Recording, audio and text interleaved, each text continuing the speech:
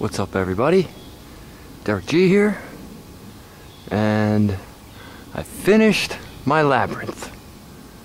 Yeah, just now. I laid the last stone up there on the top somewhere, of course.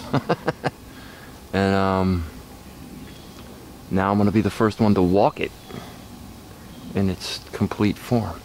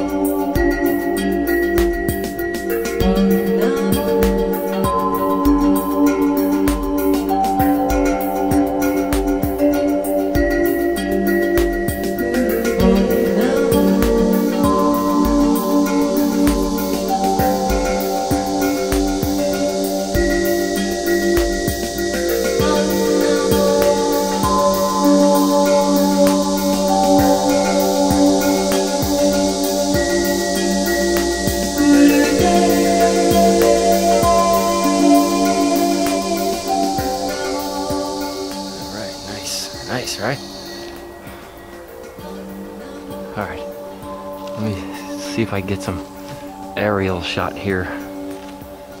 Alright. I'll keep both cams on. We'll see what happens.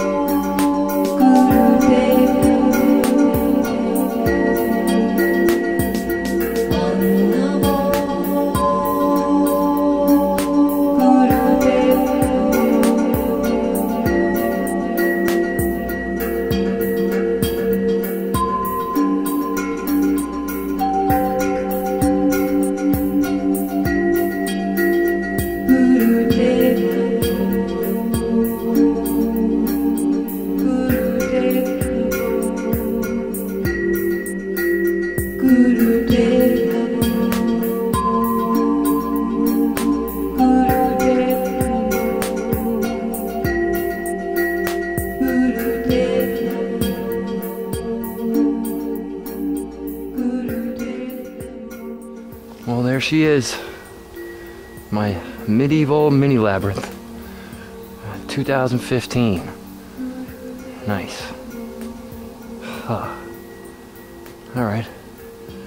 Well, thanks for coming along with the ride, every for the ride, everybody.